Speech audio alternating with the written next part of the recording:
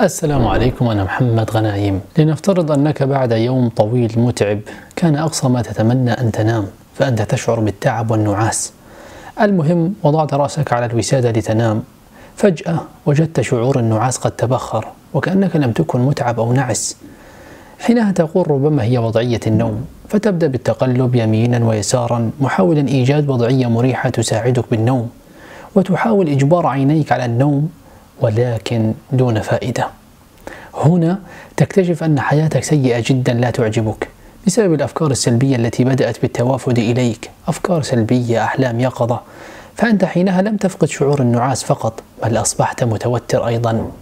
وفجأة تنظر للساعة بجانبك لتجد أن ثلاث ساعات مرت دون أن تنام.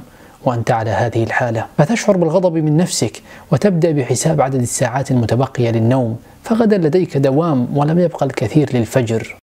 إذا كان هذا الموقف مألوف لك فاحرص على مشاهدة هذه الحلقة لنهايتها وسأخبرك في نهايتها عن تقنية تستخدمها البحرية الأمريكية للنوم خلال دقيقتين تسمى تقنية نيفي. الآن لكي تشعر بالنعاس اتبع ما سأخبرك إياه. لنبدأ بخفض درجة حرارة جسدك. لتشعر بالنعاس. كلما ارتفعت درجة حرارة جسدك كلما أصبحت أكثر يقظة فمحاولة النوم في مكان حار أو ببطانية ثقيلة تجعل النوم أصعب. فعند النوم تنخفض درجة حرارة الجسم علميا بمقدار واحد ونص درجة مئوية. لذلك لا بد علينا من خفض درجة حرارتك حتى تستطيع الشعور بالنعاس. فإذا كنت في مكان حار أريد منك أن تقوم بتشغيل المكيف على درجة حرارة 18 ونص أو قم بتشغيل المروحة. وإذا لم تملك لا مروحة ولا مكيف قم بنزع البطانية عنك أو قم بالتخفيف مما ترتدي حتى تشعر بالبرد. طبعا درجة الحرارة المرتفعة جدا أو المنخفضة جدا تسبب اليقظة. فإذا كنت في الشتاء أيضا حاول أن تجعل درجة الحرارة المحيطة بك 18 ونص درجة مئوية. سيكون الجو بارد ولكن هذه الخطوة الأولى لكي تشعر بالنعاس. ففي مراحل النوم يوجد مرحلة تسمى مرحلة نوم حركة العين غير السريعة. لتصل لهذه المرحلة يجب أن يكون درجة حرارة جسدك في الحد الأدنى للنوم وارتفاع درجة الحرارة المحيطة بك تبطئ هذه العملية. الأمر الثاني الذي أريد منك أن تطبقها في حال تحتاج النوم بشدة ولديك أعمال غدا يتوجب عليك تطبيقها هي أن تأخذ حمام ساخن وليس فاتر أو بارد. يجب أن تكون المياه ساخنة. لماذا ساخنة؟ ذلك بسبب أن الماء الساخن يجعل سطح البشرة يتوهج بسبب الحرارة وهذا يحفز الدم على إخفاض درجة الحرارة فور خروجك من الحمام. إذا لا تريد هذه الخطوة وتشعر أنك لست بمزاج الحمام ساخن. انتقل الخطوة التي تليها. لا مشكلة. الآن ابدأ بالتنفس ببطء وانتظام هكذا. هذا يقلل نبضات القلب وضغط الدم وبالتالي الشعور بالاسترخاء. ولا تقلق عندما تغرق في النوم يرتفع معدل تنفسك مرة أخرى. يعني الفكرة من التنفس البطيء هو إبطاء معدل نبضات القلب والضغط بشكل عام وبالتالي النعاس. الأمر التالي الذي أريد منك تنفيذه هو ألا تنظر للساعة إطلاقا قدر الإمكان لا تنظر ولا تهتم للوقت لأن رصدك للوقت يزيد توترك. طبعا أنت على الأغلب تشاهدني من الهاتف لذلك أيضا لا تهتم للوقت الموجود أعلاه ولا تنظر له. الآن يجب أن نحاول أن نحاول الاسترخاء. غالبا تفشل في محاولات الاسترخاء عند بقاء العقل نشط يفكر باستمرار قبل النوم. يعني الفراش ليس المكان المناسب للتفكير بمشاكلك وهمومك. صحيح. لذلك تعد قراءة كتاب أو رواية من الأنشطة التي تساعد في الاسترخاء ولكن القراءة أحيانا لغير المعتادين عليها تكون منبه لهم لأنها تجعلهم يركزون فيما يقرؤون وبالتالي اليقظة. وهنا دراسة حديثة في أن تستمع لصوت الهمس. هذه الدراسة أحبتي في الله مشتقة من تأثير صوت الأم عندما تحاول أن تجعل طفلها ينام. كما في الدراسة صوت الهمس يحفز الاسترخاء والنعاس. وهنا يوجد ما يسمى بال ASMR. بعض الناس يساعدهم هذا المنهج في الاسترخاء مثل أصوات الطعام. طبعا أنا شخصيا أكره أصوات الطعام لا أجدها سببا أو داعي للاسترخاء. مجال متفرع وليس مشاهدته كله حلال طبعا. ولكن كما أي موضوع به الجيد وبه السيء وأنت تختار ما تحاسب عنه يوم القيامة. ولو أن الأبحاث العلمية في مدى تأثير هذا الأمر على الدماغ غير واضحة إلى الآن. وهنا قبل أن تحاول أن تحاول الاسترخاء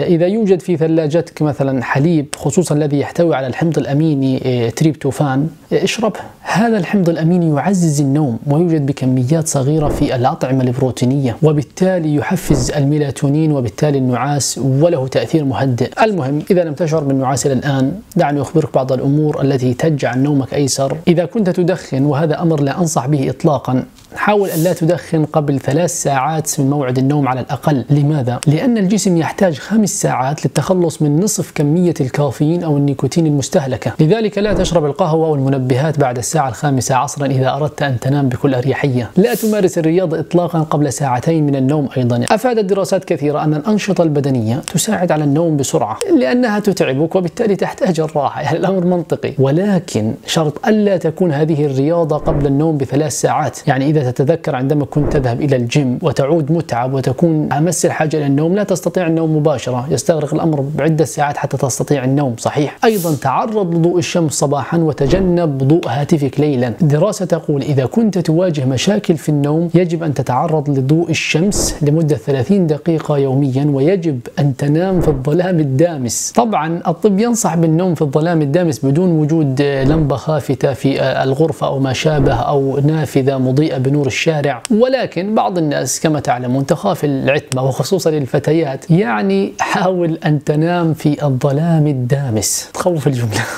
الآن نأتي إلى تقنية نيفي للنوم خلال دقيقتين. أعتقد أنك ما زلت مستيقظا الآن ولديك دوام غدا فهذا الحل النهائي لدينا علميا. الحل الآخر يعني أن يضربك شخص على رأسك ويقوم عليك. هذا الحل الغير علمي. هذه التقنية تمكنك من النوم حتى أثناء الجلوس. ويدعي مستخدمي هذه التقنية أن بعد ست أسابيع من استخدامها يمكنك النوم خلال دقيقتين فقط. يعني سأقرأ لك كما كتب أصحاب هذه التقنية هنا. وأنت حاول أن تطبق ما أقوله لك. خذ نفسا عميقا وأغمض عينيك. ركز على وجهك وحاول أن تشعر به دون لمسه. يعني أشعر بوجهك وعضلاته. تخيل استرخاء عضلات وجهك واحدة تلو الأخرى.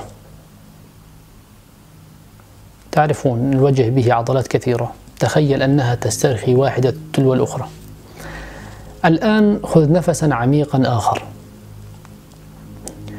حاول أن تشعر باسترخاء الخدود واللسان والفم والفك.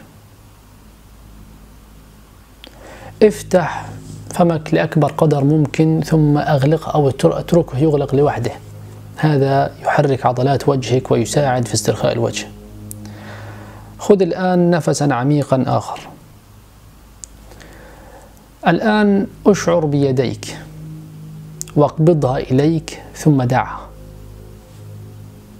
ونفس الأمر للمرفق واليد الأخرى. ثم القدم اليمنى. ثم اليسرى. لا تفكر بأي فكرة إيجابية أو سلبية. إذا أجبرك دماغك على التفكير الآن كرر جملة لا تفكر لا تفكر لا تفكر. استمر في التنفس بشكل بطيء ومنتظم. ونم. في النهاية أحبتي في الله إذا لم تنم إلى الآن وإذا أنت الآن تشاهدني صباحا يعني لا داعي لأن تنام ولكن آه، تأكد أنك لست الوحيد الذي يعاني من الأرق. في دراسة طبقت على نصف مليون شخص وجدوا أن أغلب البالغين لا يأخذون القسط الكافي من النوم يوميا. فأتمنى لكم حياة هنيئة ونوم هني ودمتم في أمان الله. أنا والله العزيز الصراحة يعني.